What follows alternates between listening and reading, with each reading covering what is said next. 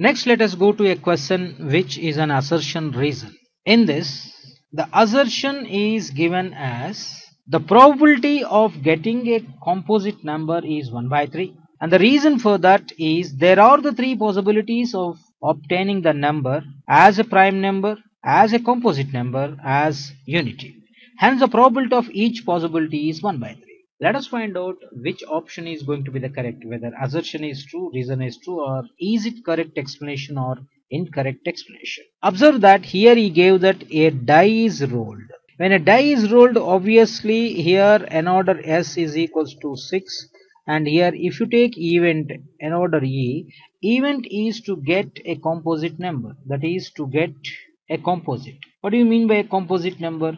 Composite number is the number which is non-prime. So here it can be either 4 or 6 because among 1 2 3 4 1 is first natural number and 2 is even prime 3 is odd number uh, that is prime number 5 is prime number. Therefore these are not composite. So 4 and 6 are composite therefore here this is 2 therefore probability of the event is equals to 2 by 6 that is 1 by 3 Therefore, assertion is true. What about the reason here? Here reason he mentioned as why it is 1 by 3 because he said that there is E1.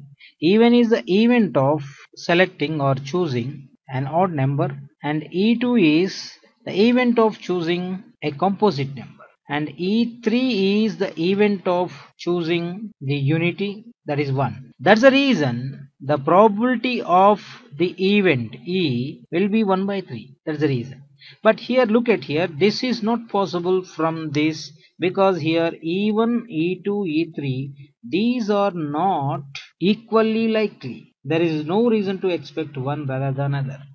when they are not equally likely you cannot take that a probability of selecting a composite number like this is n order e2 is 1 and n order s is 3 this is not possible. This is impossible which is a contradiction. Therefore here reason is not true. That is reason is false. So assertion is true reason is not true. So therefore we can opt for that assertion is true reason is false. That is option c is going to be the correct option for this question